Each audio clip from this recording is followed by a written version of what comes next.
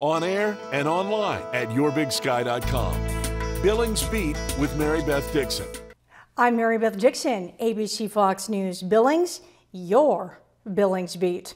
Are we headed into an unprecedented high risk wildfire season in the state of Montana.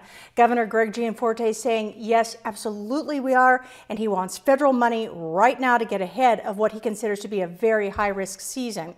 He sent a letter to USDA Secretary Tom Vilsack asking him, please come to Montana, take a look at our conditions. Gianforte saying 60% of the extreme drought areas are on federal lands, and he wants some money ahead of what he considers could be a catastrophic wildfire season. We'll keep you up to date on the story.